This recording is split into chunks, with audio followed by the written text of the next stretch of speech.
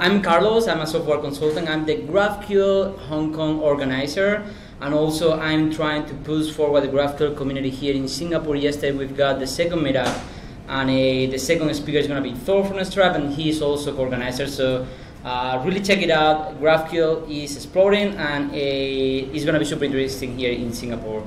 And also I've created the SpaceX GraphQL API that is going to be uh, the resources that we are going to use today in order to do the live code demo. Uh, and you can find me in at swcarlosrj in the internet, GitHub, Twitter, uh, LinkedIn, everywhere. Um, I gotta run. I'm gonna go super fast today because in 10 p.m. I gotta fly. I got the international flight, so hopefully I'm not gonna miss it. let's let's try it. And so I'm gonna go super fast. Then, if you have any question, please let me know in Twitter or in my email or a, uh, in GitHub uh, Uh, I'm super happy to discuss anything about GraphQL. So I have just a quick question, like how many of you guys know what is GraphQL? How many of you are you working with GraphQL? How many, how many of you are you working in production with, with GraphQL? Probably same. In, pro, in production? Okay. Oh, that's pretty nice. Okay, cool. So then I'm gonna go even faster. uh, awesome. So the agenda for today, we are gonna see how and why GraphQL works that that good with TypeScript, and we are gonna do a live coding full full live coding demo, uh, getting a GraphQL server with JavaScript evolve into TypeScript, and do the same with the client. So a React app with GraphQL in JavaScript, and then evolve into TypeScript and see the benefits. So before I'm gonna skip the, the joke. Sorry. so I okay. Let's do let's do one joke. So uh, okay, cool Well, yeah. what the developer say, uh, say to the repository? Anyone? Any clue? You, you cannot say anything. No? I'm pretty sure that you have said this to your friends a lot. So they say, fuck, fuck you. cool. Um, okay, so I'm going to start. Then GraphQL and TypeScript. Uh, we probably know that GraphQL is good for overfetching, underfetching, the type system, the introspectability, and so on. Uh, if you don't know what is TypeScript, TypeScript is a type superset of JavaScript that basically types in our front-end sides or in our back-end sides. If we are using JavaScript, for example, with Node. Then we have together TypeScript and GraphQL. Both of them they start and ends with JavaScript. Uh, they are strong. Uh, they are like strong toolings uh, for large application. Uh, TypeScript is back for Microsoft, so you are fine with TypeScript nowadays, and then I like to call it the state of art for JavaScript. Every single week we got new uh, new features, and uh, they are incredible. So we would like to introspect our API with GraphQL, but also we want to introspect our codebase with TypeScript. So uh, we do know that um, TypeScript has a type system, and there should be some images, but they are not showing up. And uh, we want, okay, we'll get. So TypeScript is based on a type, a strongly typed system, and that's good because we are going to have a type and introspectable contract between our server and our client. And GraphQL specification is introspectable, so we are going to be able to see all the fields available in our API. So we are passing from having an incredible type uh, APIs where our GraphQL schema is gonna, be our single source of truth, and we want to extend our types to both to our backend and to our frontend sides. Even we can start from the database and extend all, all, the, all these types through our application because we want to achieve this uh, paradise, the end-to-end type safe applications. So we are going to be using the types generator. It's called GraphQL CodeGen. It's an open source tooling created by the Tekiyo. And basically, we are going to auto-generate types based on our GraphQL implementation for both backend and frontend. So we're going to start with the live coding. We're going to first explore the code base, get a GraphQL server with TypeScript, and do the same with the client. So we are going to be using the SpaceX GraphQL API. So you can just feel free to check it out. All the uh, uh, code base is open source, and you can see both uh, how I implemented the, the SpaceX GraphQL API. So we're going to have a Mongo database, and then I created a, a GraphQL service, and then also the client with React and TypeScript. So, okay, cool. So now I'm going to open my IDE, and we are going to go to the server side. Uh, I'm going to just show you guys like the code base. So we're going to have an index, and that index is going to contain two servers. So that's why I've got two uh, APIs of my GraphQL and my REST. And even if you want to check the REST, API is just 34 lines of code. So I'm using this incredible open source library called Sofa API that is using OpenAPI by default, and I'm gonna expose my type GraphQL schema, and from there I'm gonna auto-generate a fully typed and fully documented REST API from my GraphQL schema, which is incredible, in order to expose the a, a documentation using just Swagger. So also from GraphQL, you can obtain a REST API, which is just a blow money. So then we are going to have some kind of like utils, some filter where they're going to be like to find, limiting, offset, doing sorting, and ordering. And uh, we are going to have types. We don't have like any types yet, just we have just the context here. And uh, then we can see the, the GraphQL server. So basically, we can see here that we are going to be using Apollo server, and we just we just have to pass the schema and the context and then we are going to check the context that is going to contain the database. Um, basically, as, as I've said you before, guys, that we're going to have this public uh, SpaceX Mongo database with a lot of like real data. And uh, even if you want to check it out, you can just like, you know, just go to a MongoDB client and just pass this URL and just, you can just check all the info. Uh, so now let's go to the most important thing in GraphQL, which is going to be our GraphQL schema. So if we if we open the schema and we see how we have structured our schema, there is it's just structured by domain. So let's say that we're going to have several collections and several database uh, tables in our database called capsules, and probably we're going to have histories, and we're going to have like launches, and we're going to have missions, and also we're going to have rockets. So if we go to the rockets, we are going to have type def and, um, and resolvers as for example in our CF. So now we are going to open the type data resolvers, and if you, even if you don't know anything about GraphQL, TypeScript, uh, or JavaScript, you are going to be able to see that we are defining some query entry points. So GraphQL is based in query, mutation, and subscriptions. Queries is to fetch data, mutation is to mutate data, and subscription to subscribe to data. So in this case, we are going to just fetch data. So let's say that we are in REST. So in REST, probably what we are going to have, if we want to fetch the rockets, we're going to have a slash rockets, right? And if we want to get just one single rocket by ID, probably we're going to have something like this. So in GraphQL, the representation, in this way of creating GraphQL servers with SDL and schema first, with Apollo server, that's what we are going to do and uh, here like we have to uh, uh, tell uh, uh, uh, this query entry point field that we have to pass as required an ID because we have to get this ID in order to go to the database and get the data. So also what is important for GraphQL is that every single field that we're exposing to our API is tagged. And that means that we are going to have su such a useful information. And uh, we can see here that when we are asking for rockets, we are going to get an array of type rockets, and that rocket is going to contain is going to contain uh, several types. There are a GraphQL primitive types or also complex types, for example, rocket first stage that is going to contain other like GraphQL primitive types or, or complex types. So okay, we cool here, and then we are to see how we are to return the data. So if we if we have declared like two uh, query entry point field that they are to be rockets and rockets, here in our resolver we are to resolve those query entry point fields. So let's say that we are asking for the rockets, so this is what we are to return. So if I return an array null, that's what I'm to get in the when I hit in the API. So you can see here, I get in the database from the context, I'm going to the rockets collection, I'm to do some finding, sorting, skipping, and limiting, and then I'm to convert it to an array and I'm to return that data. And we are to do the same with the rockets. We are to receive the ID that is required for my second argument in the function, uh, and then we are to find var ID and we are to distribute to the first element. Okay, so we could here, so I'm to go to the server and I'm to just start it and we are to see how GraphQL looks like. Let's, let's hope that everything is to work.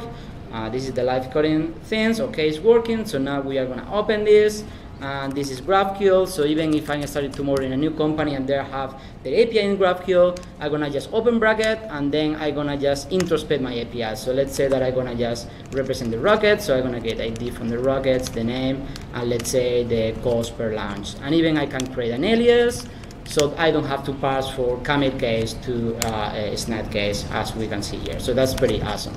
Uh, then if I'm gonna get a rocket, so we can just get the ID which is Falcon Heavy, and then I can introspect my arguments, and then I'm gonna get a the just one single rocket.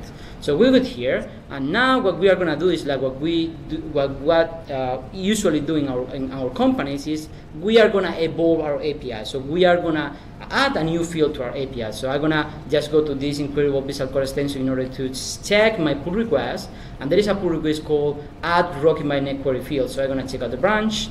I'm gonna see the diff, which is here, and we are gonna see that we've got a new query entry point called rocket by name, which is to have a require uh, uh, uh, input field, which is to be the name, it's going to be in a string, and we're, we're to return a rocket. So it's kind of the the rocket by ID, but just rocket by name. And also we can check here that we have changed ID from lowercase to the uppercase. So now what I'm gonna do here, if I go back to my type defs, and uh, then we can just check the type definition. We are gonna see the new evolution of my API, so we can see the new Rocketbat name, and I'm gonna uh, start again my server. So everything looks good. I don't have any error, and now hopefully the uh, uh the server is gonna start. It started, and now I'm gonna do the same. I'm gonna go to the history. I'm gonna check that the rockets are working. So I'm gonna hit the rockets, and then I'm gonna go to my rockets. What is happening here? That at first, like GraphQL is telling me that I have a error because we have already declared that it's going to be uppercase, so I can just introspect and I'm going to have the ID. And now when I'm hitting play, uh, I'm getting a null, but I know that this input data is in my database, so what is going on here? Uh, so first, this is a common problem that we have always and should avoid. We don't want to expose our API to the rest of the world when we are having an in inconsistent state of our API. So basically what is happening here, as we have changed this argument, when we go to our resolvers, this ID is not ID lowercase anymore, it's uppercase. And we are exposing, let's say if we are Facebook, we are exposing this API, that it looks that it's fine in our code base, but there are like millions of people and millions of requests per second, and they are getting null. And this is gonna break a lot of, not just applications, but also companies. So we have the tooling in order to avoid this problem. So what I'm gonna do right now is I'm gonna auto-generate the TypeScript type based in my GraphQL schema, and I'm gonna type my resolvers. So if we can see here now in, in the div, we are gonna get all the types. So we can see that there are like more than 5,000 lines of types, and we want them. Even if you don't, if you don't like types, but you, your CTO tells you that you're gonna type your either backend or your frontend side, you want to type, or the types that you wanna use on, are those that you don't have to write. You want to auto-generate them from your single source of truth and then type your code base. So basically what we're going to do right now is I'm going to just type my query resolvers, query resolver dot resolvers, and I'm going to get in runtime an error that this ID is not ID lowercase anymore. So now if I run my server again, I'm going to get a runtime error, and I'm not going to expose an inconsistent state of my application. So let's say that I, I don't know what is this, I have an error, so I'm going to just introspect, and I'm going to just get this data. And also, we can go further. Let's say that I join a company like tomorrow, and I don't have an idea what is GraphQL, what is TypeScript, but someone just told me that I have to implement the business logic for my rocket by name. So I just gonna do control space. I'm gonna look for rocket by name. Oh, I've got it here. This is gonna be an async function that is gonna have that is gonna return something like here and uh, we are going to also introspect all the arguments because we have already declared this information in our GraphQL schema and then also we can introspect our context. So we are going to get the database and we are going to find by ID, uh, we are going to find by name, sorry. And now when I'm saving this, if I'm not having any uh, single compilation uh, runtime error in my IDE, I know that the API is going to work and it's going to return the data that I'm looking for. Uh, so now we are going to restart the server again, and we are going to just check that uh, if we go to the rockets, the rockets are working. Uh, we go to the rocket by ID before it was not working. Now we're going to get the data. And now if we can just check uh, Falcon Heavy by name, even we can just get more data uh, name, or okay, it's, it's rocket by name, and then we are gonna get all the data as we have requested. What time is it? Okay, I have 10 minutes. So this is the server side. So now we are gonna go quickly to the serv to the client side. And a okay, cool. So now, um, let me just go back to the initial state of the app. So here we get, and now we are gonna go to the front end side. With the front end side, we're going to do kind of the same. So we are going to check the client. In the client, we're going to have just two files, so the index and the app. So let's go first to the index. So we are going to have a Apollo provider. We have to pass the client instant that we are going to be using Apollo client for Apollo Boost. And then we are going to use also Suspense, and we are going to have the app that is, is being lazy loading for uh, React.lazy. And then if we check our app, uh, basically, if you do not probably React, this is our JSX, and we don't know where is this, this data coming from, but we can see all the information that we are displaying. So we're, we're going to display a mission name, a rocket name, and details, and an image. And uh, I'm going to just go to the client here, and just do start, and then I'm going to do it here same. So we are gonna see the, the, the, the app, and uh, then we are gonna, let's check the app first. So this is gonna be our front end side. So as I've already told you, we are gonna have uh, the mission name, the rocket name, the description, and one image. I don't know if you guys if you like uh, uh, SpaceX, but uh, for me it's like super like crazy stuff what they are doing. But uh, okay, cool. Let's go back to the IDE. Awesome. So uh, as you as you know, we can just like introspect our API from GraphQL. GraphQL. We don't have to go to the documentation at all, and uh, then we are gonna just like this is our query, a GraphQL query, and then we are gonna just pass this query to use query from Apollo React Hooks in order to get the data, the loading and the stereo states on my API call. So probably we know this. If you don't know, it's pretty nice, uh, but we can even do much better. I'm gonna do everything for. Oh, okay, so I'm gonna just show you guys that uh, if I change this, uh, everything looks good. You don't have any error, but probably Racket is not defined. It's gonna be undefined. So if you try to access to name of undefined, uh, you are gonna, of course, you are gonna break the, the, the, the UI, right? So we're gonna have an error. We don't have. We have. We want to always avoid this. Okay, so I'm gonna go just like go through the the solution.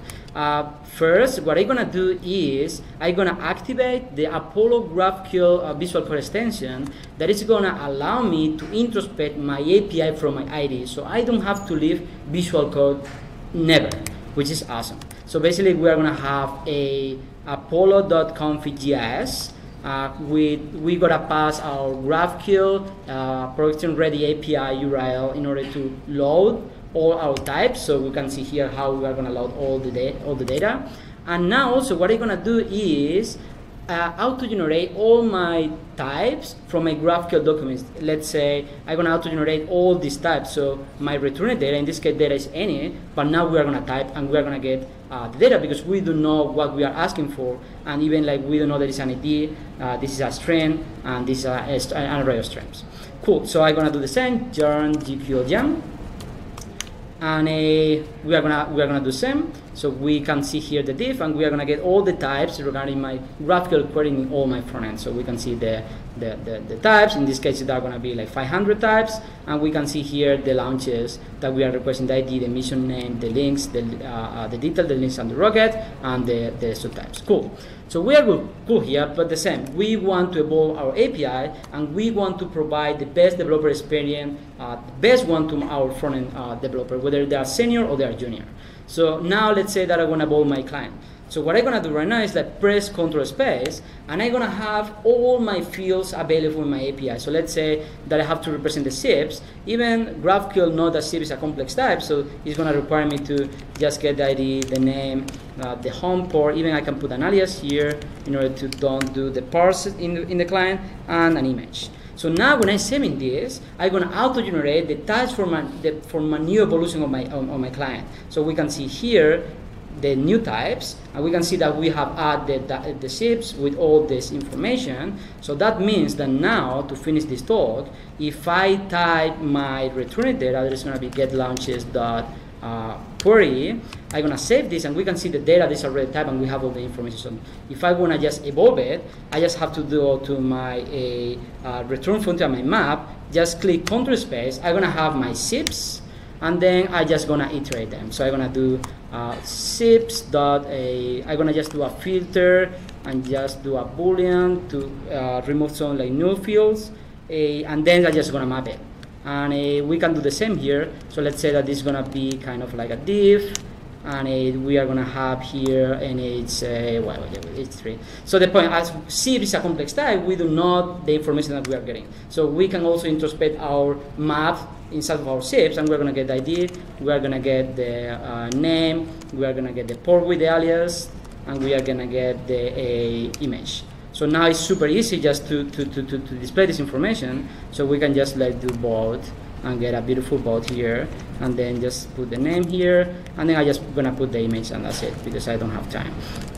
So image and then this is gonna be the image and then we can just go to and just put it a, a hundred width and we can just even like for, for, for some reason it's, is not here but probably because I've I've done home and this is pretty cool because probably I have this mistake but I didn't like realize it in my front end so now I can just come here do control space go to the top and check which are the available. So now if I put home, it that's not gonna be error. And if that means I don't have any error in my front end side, now when I go back to my uh, client side, we can see here the mission name, the rocket name, the description, the rocket image, and also all my shapes where the rocket are gonna land, and we can see how everything it was already done.